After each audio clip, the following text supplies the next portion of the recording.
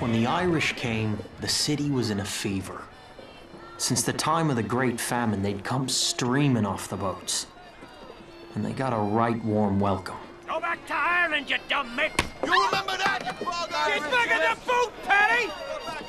I only came two hours downriver from Hellgate, but they all took me for an immigrant. Why not?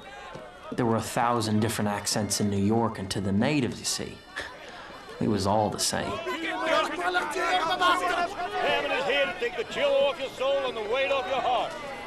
Welcome to America, son. Your long, arduous journey is over. Go back to your own country. Vote Tammany! America